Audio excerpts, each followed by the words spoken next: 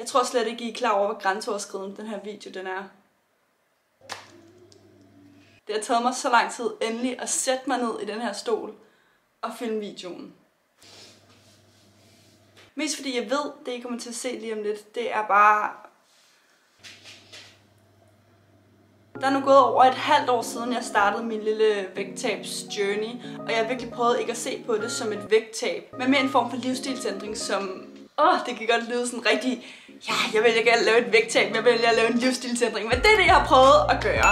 Fordi det skal være noget, man kan holde, og noget, man ikke bare giver op på med det samme. For eksempel, hvis du går på en suppekur, ikke? Fedt nok, så taber du 5 kilo på de to uger, du kun drikker suppe. Men hvad så, når du så begynder med at spise almindelig mad igen? Så rører alle kiloene tilbage. Derfor er det vigtigt, at du har en god måde at gøre tingene på. Den 15. januar valgte jeg at tage en beslutning om, at nu skulle det være slut. Jeg var træt af at se på mig selv. Jeg havde dårligt med mig selv. Jeg havde ikke lyst til at forlade min lejlighed overhovedet. Jeg, jeg var bare ikke et særligt godt sted i mit liv. Og det, der er mega vigtigt at huske på i sådan et vægttabsforløb, det er, at det kommer til at gå sådan her. Op og ned hele tiden. Og det kommer også til at gå sådan her, hvor man føler, at der ikke sker noget.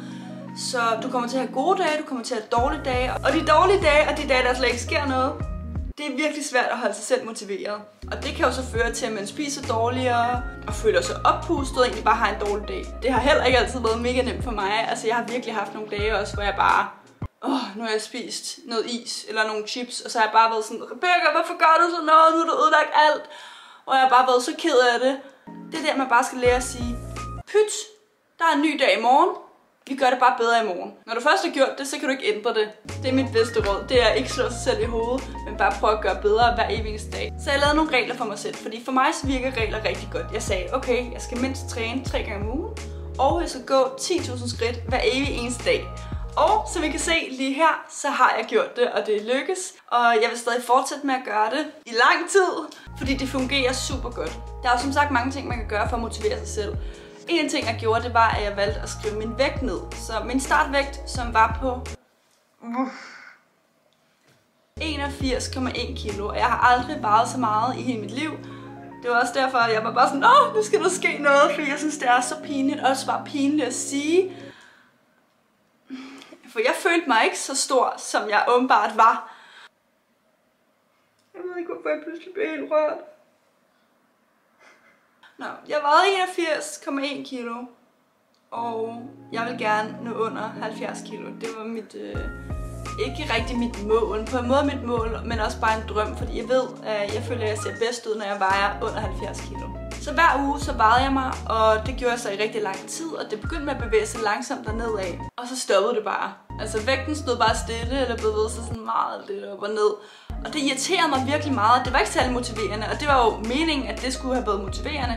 Så derfor så stoppede jeg i en periode med at veje mig. Da jeg så kom hjem fra Frankrig, så har jeg faktisk tabt mig næsten præcis 10 kilo. 10 kilo! Er I klar, hvor meget 10 kilo er? Nu skal jeg vise jer, hvor meget 10 kilo det er. Åh! Oh! Nu kan I selvfølgelig ikke mærke, hvor tung den her er, men den er altså rigtig tung. Jeg kan ikke engang nærmest holde den i en arm. Men det her, det er selvfølgelig 12 kilo. Så næsten hele den her. Det er så meget, jeg har tabt mig. Og så hvis I kan mærke den her, så tænker man, det kan ikke passe så meget. Vejer 12 kilo eller 10 kilo der ikke. Altså, det kan jeg umuligt have tabt. Og det er seriøst det vildeste at tænke på. For jeg synes virkelig, den her er tung. Så hvis det her har været inde i mig, hold da op, ikke? Altså, så kan jeg godt forstå, at det har været besværligt at bevæge sig rundt. Oh, oh, oh. Nu er der så gået noget tid efter Frankrig, og jeg har så vejet mig igen, hvor jeg så har taget kilo på. Og det er det, jeg mener med, at det kan gå op og ned, op og ned, ikke? Og ved du hvad? Pyt med det. Jeg skal virkelig lære mig selv ikke at slå mig selv oven i hovedet, fordi det er så naturligt, at ting går op og ned hele tiden. Det kan ikke kun gå nedad. Det kan være på grund af mange ting, såsom vandvægt, eller at du snart får din menstruation. Altså, så længe du ikke giver op, så skal du nok nå dit mål på et eller andet tidspunkt. Efter jeg begyndte at træne og spise lidt sundere, det er ikke fordi, jeg har ændret mega meget min kost. Jeg sørger selvfølgelig for ikke at spise chips og slik og sodavand hver evig eneste dag, men jeg tillader godt mig selv at gøre det lidt i weekenden. Men jeg spiser meget normalt, vil jeg sige. Så ikke noget hardcore diæt, fordi jeg netop gerne ville tabe mig sådan langsomt, fordi så føler jeg, at det holder længere tid. Men det er sjovt, når jeg tænker tilbage, så en af de ting, jeg havde svært ved, det var bare sådan noget som at rejse mig op i sengen, eller rejse mig op i sofaen, hvis jeg lå ned. Den der lille mavebøjningsbevægelse, det er så sygt. Altså, jeg kan jo virkelig mærke, at min krop er blevet stærkere, og jeg kan gøre mange flere ting fysisk, altså uden at skulle blive træt. Så det synes jeg virkelig, det er virkelig fedt. Men nu skal jeg også huske, det her det er mine mål. Jeg siger ikke, det er rigtigt og forkert at være det ene eller det andet. Her synes jeg egentlig bare, at det vigtigste det er, at du selv er tilfreds med, hvad du ser i spejlet, og du bare spiser sundt og motionerer. Så er det egentlig lidt lige meget, hvordan din krop ser ud, så længe du er glad og er sund indeni. Jeg håber ikke, nogen af jer I føler dig stødt derude, for jeg siger ikke, uh, man skal være tynd for at være pæn. Det er min egen personlige holdning, at jeg vil gerne være lidt slank, men som sagt, så har jeg jo stadig former. Overraskende nok, så var jeg inde og købe ny BH her forleden, hvor jeg tænkte, ja, jeg har jo tabt mig, kom med en mindre størrelse på. Og så kommer hun og siger, ja, du skal faktisk op i en skål, hvor jeg bare sådan lidt, hvad mener du? Hvad, men, hvad mener du med, at jeg skal op i en skål? Så har hun bare fået større bryster. det er altså meget mærkeligt.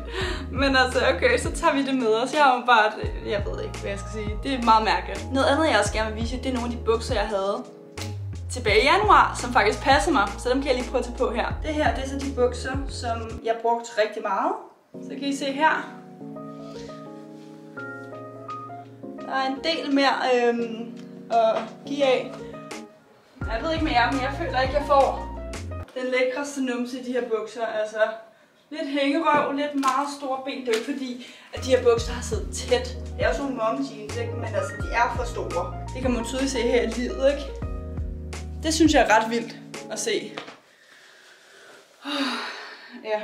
Og det er jo også en anden ting, der motiverer, når man ligesom kan se, okay, bukserne de går så langt ud.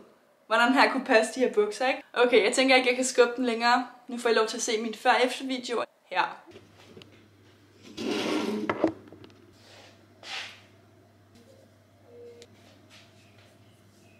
It won't go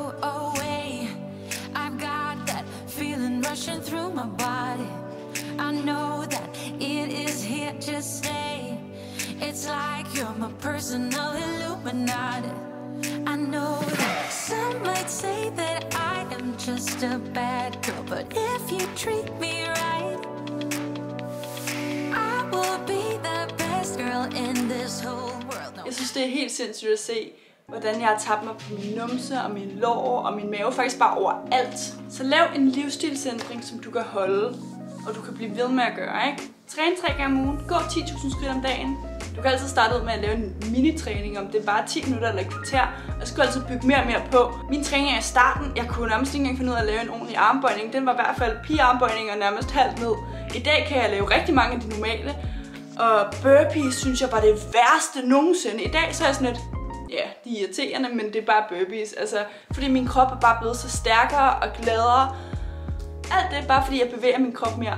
Så hvis du går og er deprimeret derhjemme, eller ikke er tilfreds med, hvad du ser, de små ændringer i din hverdag, det kan gøre den største forskel. Så det er spændende at se, hvor jeg er om et halvt år igen. Det kan være, at vi laver en ny update. Måske, måske ikke. Men det var alt for den her video. Jeg håber, I synes, den har været god og spændende, og I som sagt har lært noget. Og så ses vi bare igen i min næste video. Hej hej! Mwah.